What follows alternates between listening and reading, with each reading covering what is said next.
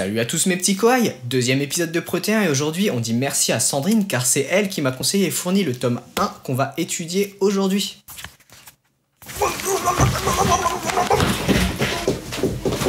Donc c'est parti pour...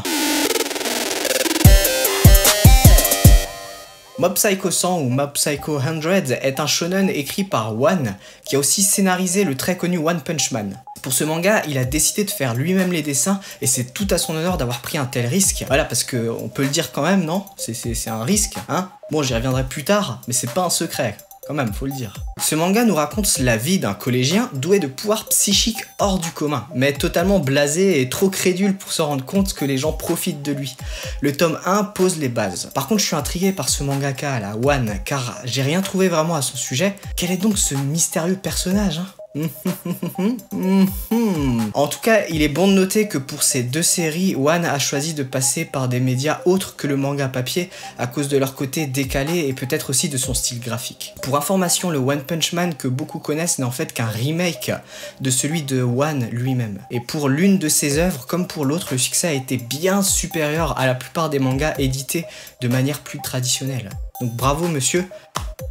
Bravo monsieur. Bon, on passe au pour et au contre. L'écriture est un vrai régal. One est assurément très talentueux pour créer des situations qui surprennent le lecteur. Et c'est rafraîchissant surtout pour un style comme le shonen dont la structure est de plus en plus grossière et usée. Le langage est très vrai et là je salue aussi l'éditeur français Kurokawa qui nous habitue à de bonnes traductions. Ils n'ont pas aseptisé à outrance le langage familier des personnages et ça donne à Mob Psycho 100 un ton vrai et cool. Comme le doublage perdu de Fullmetal Alchemist, la série originale un doublage perdu depuis des années, sauf sur VHS.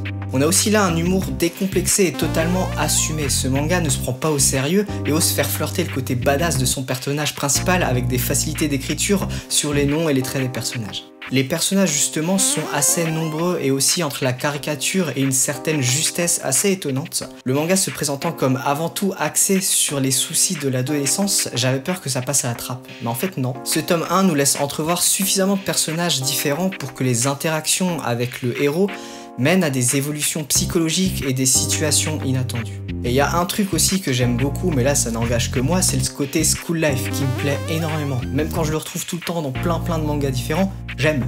C'est tout. Ok? Hein? Et vous dites pas que c'est parce que ça me manque l'école. Ok, je vous emmerde. Je vous emmerde tous Tous Tous Concernant les contres, je n'en vois qu'un. Vous savez? Je sais que vous savez. Alors je le dis pas. Voilà. Le dessin, le dessin. C'est le dessin, c'est bon. Le, dessin me fait physiquement mal. Alors, entendez-moi bien, j'éprouve un profond respect et sincère pour One, qui a choisi de faire un gros doigt au candidaton envoyer chier les chemins d'édition à succès et envoyer paître les dessinateurs pros pour se lancer seul avec sa vision des choses dans ce manga. Mais ça reste un point négatif quand même.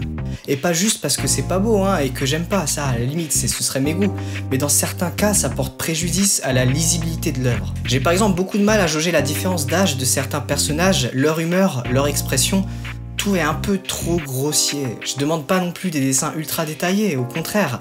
Le côté un peu simple colle bien au ton du manga, mais là, le niveau est à peine trop bas, ce qui au final dessert un manga qui flirte avec le parfait.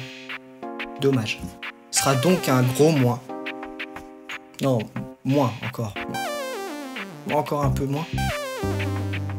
Voilà, comme ça.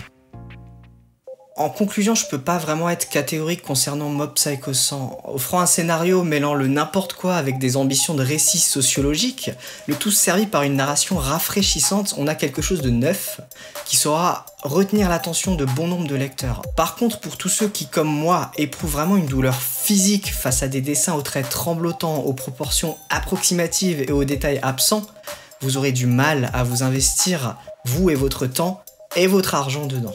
Jetez-y au moins un coup d'œil, car ce récit a l'air d'avoir de la matière et en substance semble critiquer ouvertement certains comportements et obligations sociales avec brio. Pour vous dire, je suis presque prêt à faire l'effort d'acheter la suite.